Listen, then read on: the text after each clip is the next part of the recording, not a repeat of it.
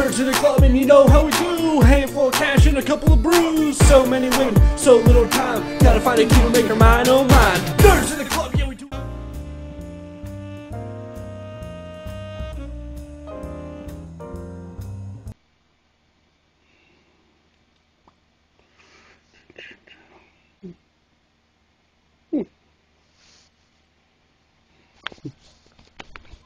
Hey guys, Chachi here. Uh, you know, it's that time of the week. Time to record a uh, another edition of Chachi Says, the vidcast. Cue the music. Uh, this week, because I, we mentioned this on the Awesome Cast a little bit, um, so it, it's not new news, and it's definitely not something that you don't know already. And if you don't, then you haven't been paying attention to Twitter. And if you don't use Twitter, I'm not quite sure why you watch this. Um, because I'm pretty sure that's where all my viewers come from. I love you guys. Um, but this week is a pretty exciting week for me. Um, if you didn't notice, uh, we got the Triforce tattoo, the Zelda t-shirt, the Zelda hat. That's right, ladies and gentlemen. I would like to wish a very happy birthday to The Legend of Zelda that is now 25 years old. Just a mere three years younger than I am. Which makes me feel kind of old. Um, it, it's quite possibly my favorite video game of all time.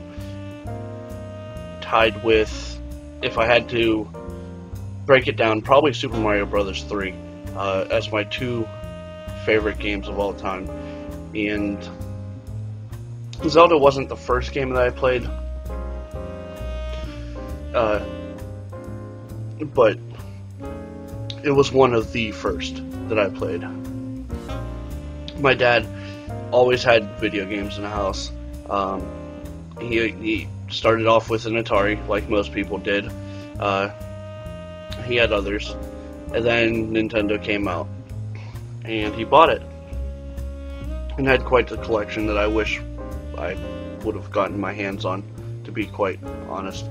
Uh, however, so uh, it was always an influence, and it just goes to show that Zelda is one of those games that is multi-generation, generational, yeah, multi-generational, if that's even a real word, uh, because if you play video games now, there's a 90% chance that you played The Legend of Zelda. You've played it several times, you've beaten it several times. Hell, you probably even have it mastered. And if you do, my hat is off to you because I still don't have the game completely mastered.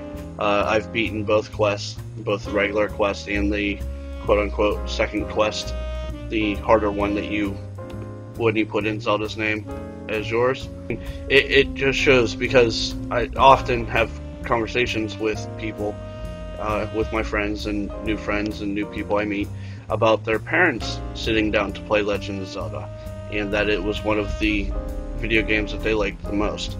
Uh, and we, we talk about the strategy that our parents used to play the game. Some people use graph paper, some people used regular paper, uh, basically to draw their version of the map layout. That way they knew where the hell they were going. Because let's face it, the game, the game was amazing. Uh, is one of the first games that allowed saving it came with the battery backup in it so that it saved your game, which made it wonderful at the time. It, it took away the uh, the whole password thing.